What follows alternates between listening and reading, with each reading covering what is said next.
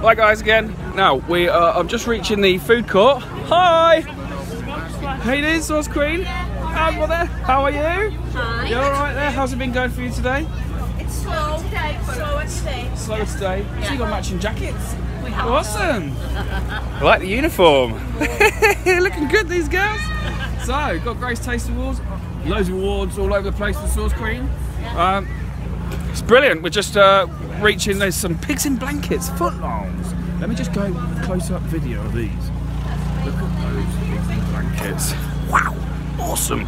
Now, this is a tent where we've had quite a lot of chefs um, cooking in here, doing demonstrations.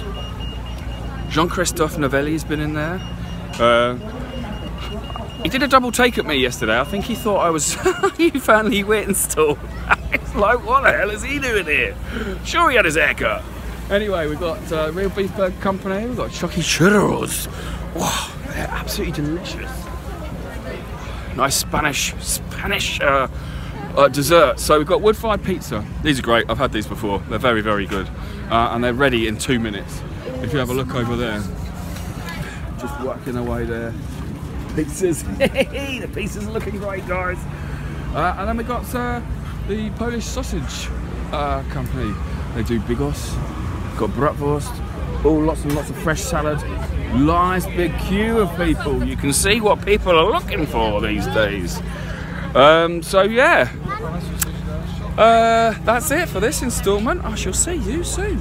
All right, bye bye.